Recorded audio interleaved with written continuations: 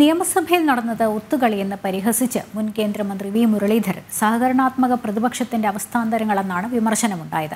കേരളം പ്രതീക്ഷയോടെ കാത്തിരുന്ന ചോദ്യങ്ങളും ഉത്തരങ്ങളും ഉന്നയിക്കപ്പെട്ടില്ല. അപ്രിയ ചോദ്യങ്ങൾക്ക് മുഖ്യമന്ത്രി സഭയിൽ മറുപടി പറയേണ്ടി വന്നില്ല. പ്രതിപക്ഷ നേതാവിന്റേത് പൊറാട്ട നാടകമാണെന്ന് വി മുരളീധരൻ പറഞ്ഞു.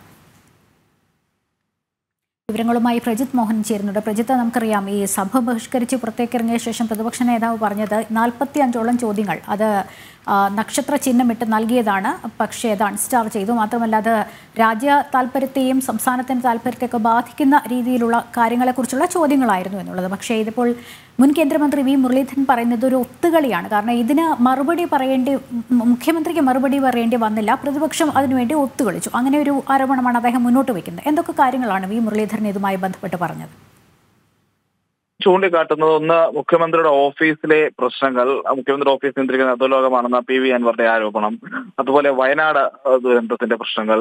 ഇതെല്ലാം കഴിഞ്ഞു നടക്കുന്ന ആദ്യ നിയമസഭാ സമ്മേളനത്തിൽ കേരളത്തിലെ ജനങ്ങൾക്ക് വലിയ പ്രതീക്ഷയുണ്ടായിരുന്നു. പ്രത്യേകിച്ച് കേരളത്തിലെ ആശങ്കകൾ പ്രതിപക്ഷം ശക്തമായി ഉന്നയിക്കുമെന്ന് നാട് പ്രതീക്ഷിച്ച ദിവസമായിരുന്നു ഇന്ന്. പക്ഷേ സഹകരണാത്മക പ്രതിപക്ഷത്തിന്റെ അവസ്ഥാന്തരങ്ങളുടെ പാരമ്യം എന്നാണ് വി മുരളീധരൻ ഇന്ന് സഭയിൽ നടന്ന സംഭവങ്ങളെ വിമർശിക്കുന്നത് അതായത് പ്രതിപക്ഷവും സർക്കാരും തീർന്ന് സഹകരിച്ചുകൊണ്ടാണ് ഇന്നത്തെ ഈ സഭ അലങ്കോലപ്പെടുത്തുന്ന രീതിയിലേക്ക് കാര്യങ്ങൾ പോയത് എന്നുള്ളത്.